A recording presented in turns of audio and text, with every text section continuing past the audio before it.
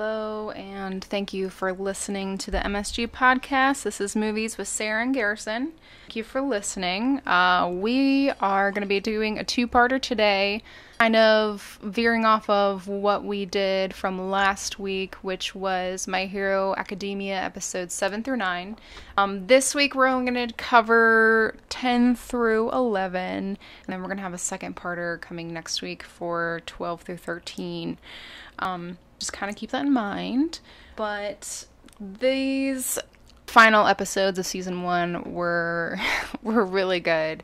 I think if you guys can remember from last week, we kind of left off with the students caught in the um, basically like hall of different disasters. Um, it was really good.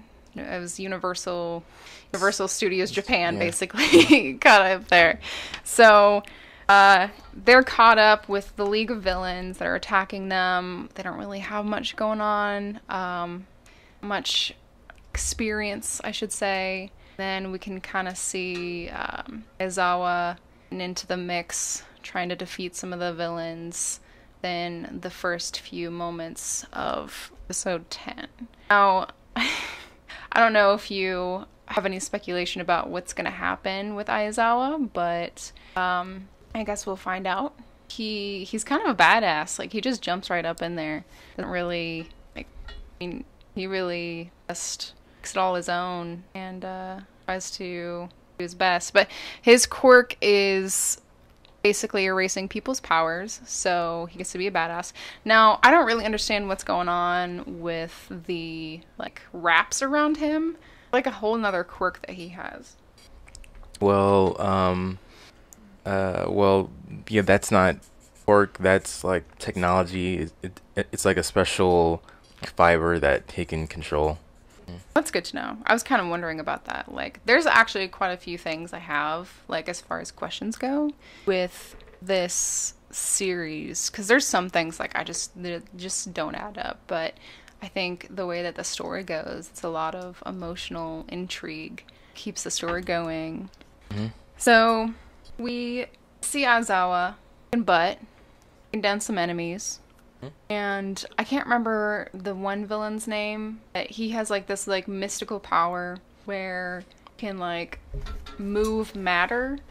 It's like yeah, it's like uh, like like portals. Yeah, basically. But he's like kind of a creepy guy. He doesn't really have much of a face. He's got eyes, purple, kind of mystifying power that he has. He manages to separate all of the students different parts of the USJ so that none of them can kind of gang up and defeat these two villains here. And uh, the other villain, I guess last week was his power was throwing hands. We still don't really know these episodes his initial power is, but You you still don't know. yeah. But I still think he's gonna throw those hands. Well, you saw what he did to Aizawa's uh, elbow. Right, but that's in episodes 12 and 13. Oh. I haven't seen those yet, Garrison. Uh, I guessed that. Okay. Um, I don't know, but I. Okay. Right, right. So, uh, just so, yeah. So yeah, we just uh, forewarning. We watched the the remaining episodes of season one in one sitting. Um, and because of uh stuff, uh, we're ha- we're gonna have to split PBs into two episodes. So, Right. but also, um, we started the the series with a certain amount of knowledge, and um, uh, we have more knowledge that we shouldn't have. Um, so basically, we're not gonna be blind um, terms of our like discussion until like halfway through season two. Um, We can guide you through it with knowing hands and be no, empowered. I'm trying to like get you off the hook hook here. Uh, yeah. So yes. So, so Sarah got really excited and went ahead and watched half of season two. So we're gonna not have any speculation for a while. Uh, sorry about that. It's okay though. I can pretend at least a little bit. Um, just pretend that I'm dumb. I'm actually pretty good at pretending I'm dumb. So But then it's not like like real though. Like you're just like faking. Yeah. yeah, yeah, basically. Yeah, but uh, Smoke Guy's name is uh, Kurogiri. Um, And yeah, so after Aizawa uh, th- threw threw them hands, he um, uh, Midoriya, Neta, and Asui were uh, teleported Mhm. that uh, to that uh, like watery area with the boat. Um, Midoriya fell into the water. Some like shark guy came up. Sue stepped in and uh, saved him. Um, so this is when we are form we when we formally meet Neta um, and Asui. What did you think of those characters this point? I I love that Asui talks about herself as a frog. Like, She's her name is Sue, but she's like, no, I'm a frog. Like she, And she ribbits. yeah, Robert. She's probably one of my favorite characters right now. Yeah, she's yeah she's she's mine definitely. Yeah. Um, yeah, and so she can like jump and stick her tongue out and uh, like cling to walls and like throw up her stomach.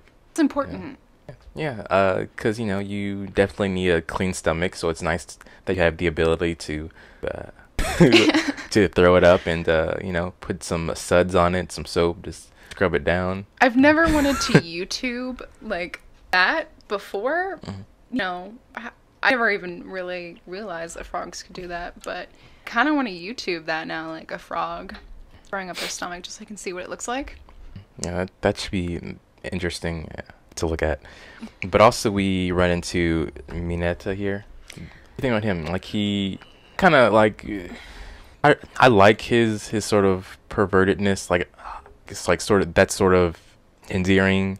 It's you know fictional world, but of course it, it's not you know uh, it's not cool in life. But here it, it's like sort of daring and, and funny to me. Right, because it's like he's like an immature kid. That's that's basically all I see, all I see him as. Um, and we actually find out what his quirk is in these episodes, and they kind of make fun of him for it because what he can do is just take balls off of his head and they're sticky. Yeah, sticky balls. I feel like that's kind of he gets his pervertedness from. Like he can just make all kinds of puns and jokes. He really does. His episodes, he makes some puns about sticky balls while he's like throwing them at his enemies. But I don't know, like he's kind of hopeless to me. Was Yeah, like he he's a cute kid. I like him, but his powers are just like eh. I feel like of all the ones, of all the heroes that are in the student school, this is probably the weakest in that class, I should say. Hmm. Well, I think like he's a good support hero, like maybe a sidekick, because um, his balls can be can be used to like apprehend, like you know, like basically built-in handcuffs and like uh like you know stopping like robber robbers and stuff from fleeing. So it, it's useful, not necessarily for for combat. Okay, okay. I, I, I think.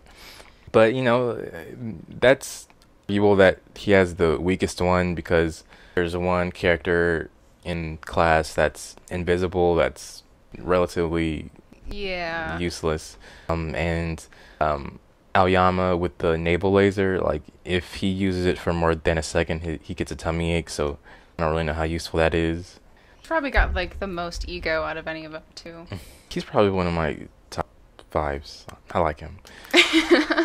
um, and right, so at this point, Midoriya comes up with a plan, and you know, as was established in previous episodes, he's like really good with, with strategy. So he utilizes everyone's abilities, and um, after being surrounded by some villains, he he comes up with uh with a pretty good plan to like capture them all uh, using Mineta and his uh one for all quirk. Smart. Yeah. Um, and me- meanwhile, the some of the other class the uh, class m- m- members were uh, they were trying to give a way to contact the pro heroes. So um, Ida was getting ready to um, to flee so that he can uh, warn uh, the pro heroes. And Yeah, they kind of get themselves in a little bit of a pickle. that's yeah. Yeah, so the end of episode 10 kind of em- ends at. Um, with yeah, with the successful plan. Yeah, right. He gets out. And then um, episode 11, they kind of show us a little bit of this new character who apparently is like artificial character. He's an, ana- he's an enemy, but his name is Nomu. Got brains that are just, sticking out of his head. Mm-hmm. And um, is this the yeah this was the episode yeah and um, we are introduced to a couple more students. There's uh, Jiro with the earphone jack, um, and like she can like plug it into like sockets into her boots, the speakers in there, and, and amplify the sound, different things like that. And also formally formerly formally introduced to uh, Yorozu uh, with the creation ability. Yeah. She can pull stuff out of her body. And Denki comes along too with his electrical abilities. And Um, any short circuits me. That is the coolest thing ever. It's not cool. I mean, it was funny, but like the way that the writers did it, like it was just a cool. it was just a cool character flaw. It was great. Um, so that's a cool, I think, thing to bring up about this show is that a lot of the characters, even though they've got extraordinary quirks, all are flawed in some way or another, whether personality or in their quirk. Um, even All Might is supposed to be like the best hero in the world, and he himself is flawed. I think that's pretty important. Uh, flawed in like what way do you mean that that he's flawed? Um in the way that he maybe he's got a lot of ego um but he is wounded and he can't be the he can't have his quirk for more than three hours a day so Well, yeah, I guess that's that's flawed in like in in recent time, but you know before that, uh, I'm not sure if he had any notable flaws. right But um, yeah, I'm not really sure if, if that's a flaw more so a weakness. Like to me, flaw would be um, like uh, like okay, so so weakness, a physical weakness is is is um is uh like you know his um his inability to stay in a form for for long because of his injury. But flaw to me is like so an emotional weakness and yeah, I know he, he's pretty uh, steadfast and strong in his convictions. Um, Now I have a question about his weakness then. So in earlier episodes they kind of mentioned that he couldn't he didn't have a stomach anymore because of his um because of what had happened to him, how he got hurt. There's like this giant gash in the left side of his body and they mentioned that like he got his stomach removed. Uh how does he eat? Is my question. Like his whole stomach is gone, but apparently All Might doesn't eat anymore. But well, I think you can get some of your intestines removed, you know, but uh, and you can still eat and stuff. So I think that he just got got like maybe a part of his stomach re- re- removed and intestines taken out. Some of that would them. be horrible.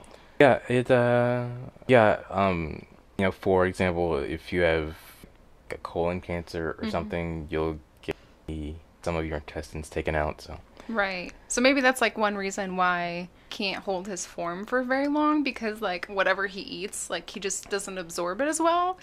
Scientific went there. Right, well, it's I don't know if you said that said this point or or this comes later, but uh might says it's all might, but so, someone says it's basically like flexing.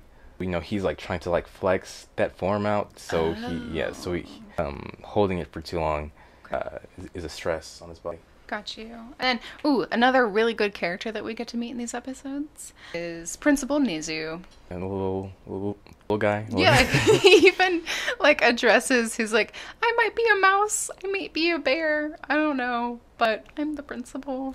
It's just precious. Um. Right. So now this is something that you don't know. Do you know what his quirk is? No. I'm Yes. wondering about this gash he has on his face too. Like there's so many backstories, like I just want to know. Have any guesses? Um, hmm. He is cute. That's my guess. Uh, I'll think. I think you'll be surprised. Okay, okay. But okay. So we run into him, and uh, um, continuing from last episode, uh, Ida is trying to escape the villain so he can run and and, ru- and warn the uh, pro heroes, and the uh, the guy with the with the the, the the the portal powers, like he's was quite fast. Like he was keeping up with them. right. Surprising. Yeah, I mean, you could do so much with that. And then for um 13 here 6. Oh right. um he got like ripped, like ripped in half. And my yeah, like the entire time I was watching it's like where is her body at? Like is the suit her body? I don't, I don't think His, so. her? Like, uh, like um, mm, okay, so maybe the suit is like containment field, but like she's just like raw, like a black hole, because that, 'cause that's her, her her quirk or its Oh. Okay. quirk. Keep saying like it, and you know, never actually call thir- thirteen he or, or she. They say you know 13 Mm-hmm. Um, so it, it sounds like a woman, but in the Japanese version, it, it sounds like more masculine. So it- it- ambiguous. yeah, it's yeah, ambiguous at, at this point. Okay. Yeah, but yes, so that's my my theory is that character is like a living black hole. Suit is a containment field. I guess that makes sense because a lot of the heroes have their own costumes. So that's like her is 13's costume. that's 13's costume. And they are special. Side note, I don't really, I don't really like the word costume. Like it bugs me. and I say that because me, you know, costume is like something that you buy for Halloween, right? It serves no practical function. But you know, if you're gonna be a hero, your suit should serve some function that help that aids you in, uh, in your hero herodom. So it's like an outfit, more or less. Yeah, suit or or uniform. Okay. Suit or uniform. but you know, but since the show does use costumes, I guess you can use that word. I I I, I won't, but you know, you can use it if you want. Okay. Um, It's like to hide their identity too. 'cause, like, mm, I don't know. They have to have really Well- regular lives, right? would you would think, but you know, uh, knowing what happens later, Okay. You know, something that you know as well. I don't know what you're talking about. Okay, um, spoilers, uh, spoiler warning if you have not um, watched like the first half of season two, uh, tune out now and like come back in like three minutes, yeah, two or three minutes. But um, so in the in the okay, three, two, one, okay, go go now. Uh, so in the sports festival, you know, they're not wearing masks or anything, and Right. there's a huge audience. So you know, people know what someone's work is Right. and their abilities are, and no secrecy, and it, it's broadcast on TV. So tons of villains can can you can watch in. Seems so dumb. Yeah, it's, it's not a great it's not a great setup. It's- No. But I guess since like more than half the population all have quirks, like I don't know. Maybe that's just like a weird thing that they did. Right. Yeah. Uh, we can talk more about that when we get there. But uh, come back, guys. If it's time to come back. and right. So this is something that I would like to uh, see the aftermath of. Is okay. So when uh, the hand guy, when he had Midoriya, Sue, and Netta uh, cornered, he was like reaching out for for them with his hands to like Like his actual decay. hands, yeah, not you're his right. Right. appendages. I don't know. I would I would like to like see the aftermath of how Sue and Mineta um sort of th- think about a hero a- after that because they came face to face with death, right? Yeah, Like, they they really were did. In, like inches away from dying. Maybe like that could be what sets Mineta in the right direction because now he's sort of joking and silly, uh, kiddish. right? Um, so something something like that could like, um, be his drive to like get get stronger and get better and take this more seriously. Um, side note, kind of wish Sue and Midoriya would date Mm, Why why those two? Because I feel like they give each other a good balance. They've got a really good balance, like as characters. It's like Sue will call Midoriya out on whatever, and Midoriya is just like, you know, he he's always trying to change. So like the fact that Sue has that ability, I think, is her little bit of power maybe over him. So like. Know, and he's like this all-powerful guy. He has so many abilities, so he needs somebody to kind of pull him back. That's a good op- observation, and that will be brought up later. But um, yeah. So you ship them. Ship them. It's a word that people use. It it's like uh, it's when you endorse a fictional relationship. Yes, Mm, You ship them. Okay. I, I ship them. That's okay. interesting. Um, and so they're moments away from dying, and uh, this is when. Da-da-da! All Might jumps in Yeah. and he shows up and basically just takes over the fight that Aizawa is losing against Nomu. Yeah, he got hammered. Like he was beaten to a pulp. Like his arm was broken. His Face. yeah. Yeah. He got um what do they call it when you like curb stomped? He got curb stomped. Yeah. Um, right. So this did with All Might stepping in and uh, be continued, I guess. All right. Um, chime in next week for the discussion review of episodes 12 and 13 of My Hero Academia. Please like, share, follow us on Instagram, Facebook, YouTube, SoundCloud, Patreon. Whole shebang.